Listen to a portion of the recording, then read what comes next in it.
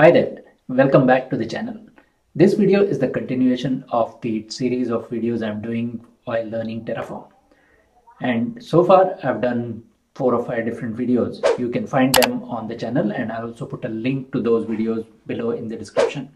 Today we are going to look at how to create a storage account in Microsoft Azure using Terraform using the Azure RM provider. This is a nice segue to our next video where we are going to look at how to use remote storage for storing the state of our Terraform uh, resources that we are creating in Microsoft Azure or any other infrastructure.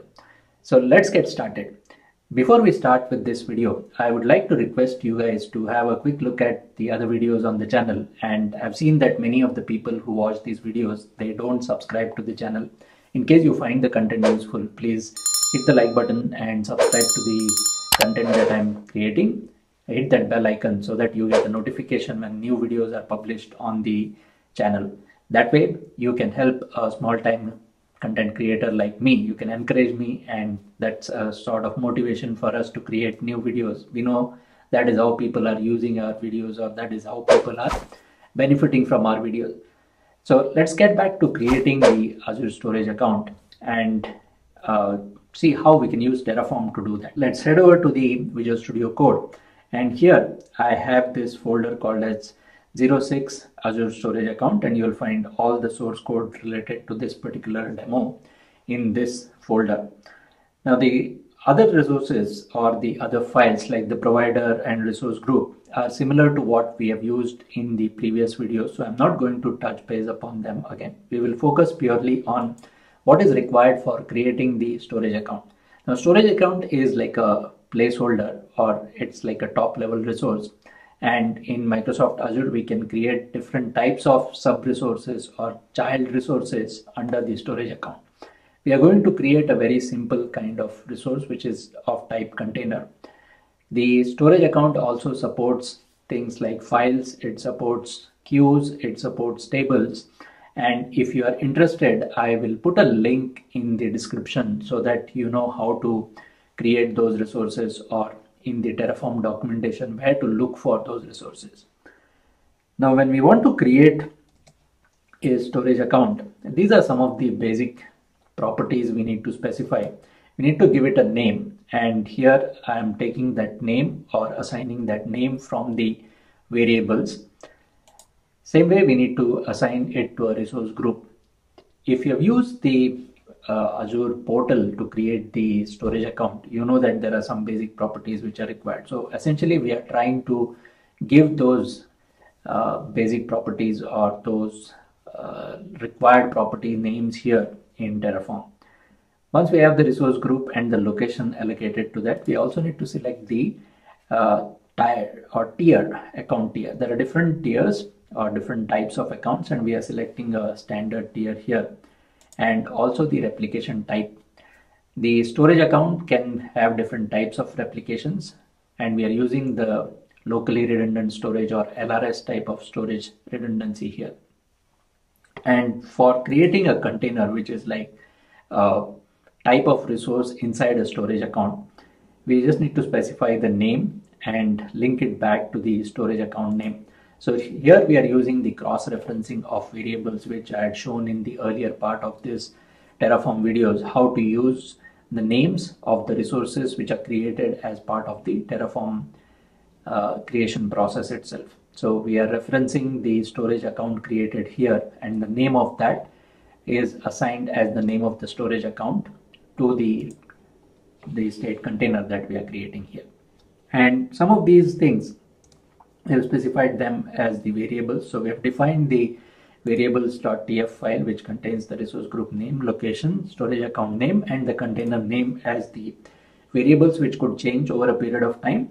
And then the values for those variables, we are defining it in the terraform.tfvars file. So the name of the resource group here is tf backend resource group and we are creating this resource group in Australia Southeast, which is the Melbourne region.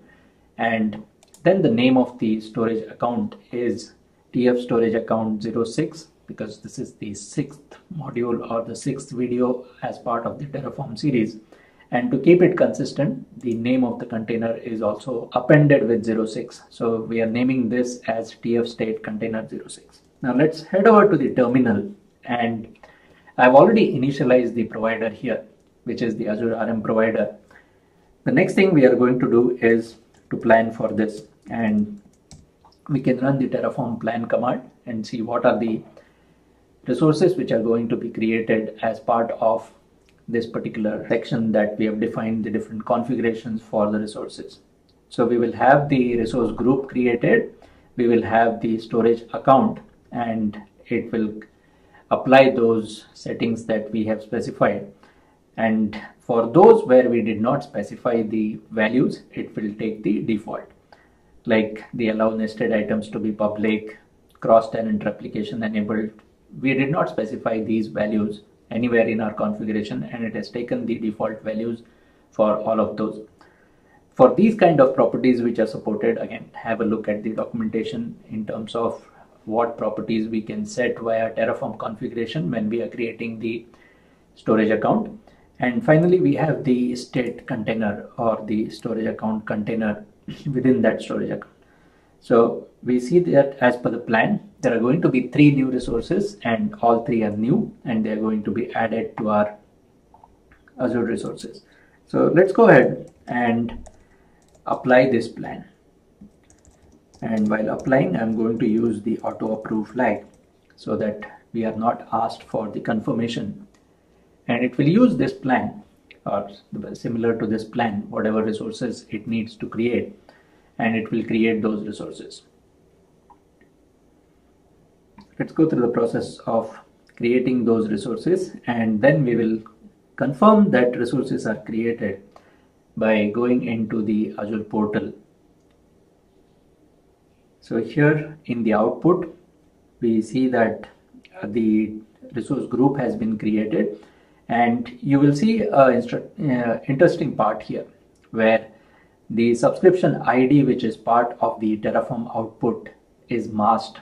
And on this channel earlier I did a video to show how we can set a flag in the terminal. I'm using a warp terminal here to redact this or to mask this sensitive information. I don't want to expose like the subscription ID or the IP addresses or things which are sensitive in nature to the output on the terminal and show it to everyone who has access to these videos.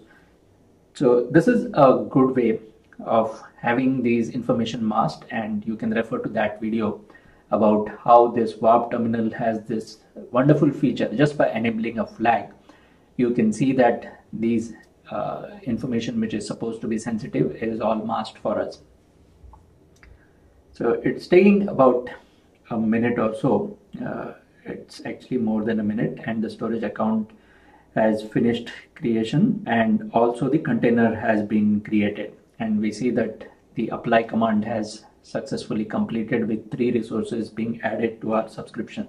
Let's head over to the Azure portal and let's go into the resource groups and look at this newly created resource group. The name of that was uh, TF backend resource group. And in that resource group, we find the storage account 06 has been created. And this is what I was saying earlier that it has different types of resources under the storage. So if we go into the storage browser, we can see the blob containers, the file shares, the tables, queues.